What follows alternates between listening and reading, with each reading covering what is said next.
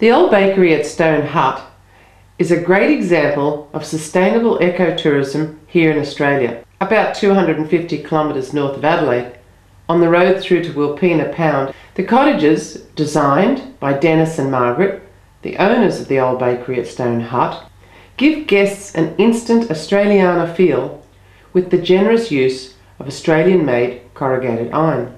The cottages feature solar hot water and rain is caught and held in the rainwater tanks adjacent to each cottage. The bio waste disposal system in each cottage means nothing is wasted at the old bakery at Stone Hut Cottages. All waste is recycled and used in keeping the gardens alive and colourful.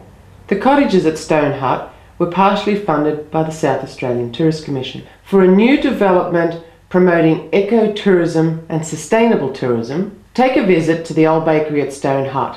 And, and as a bonus, there's some of the best pies you'll get in Australia.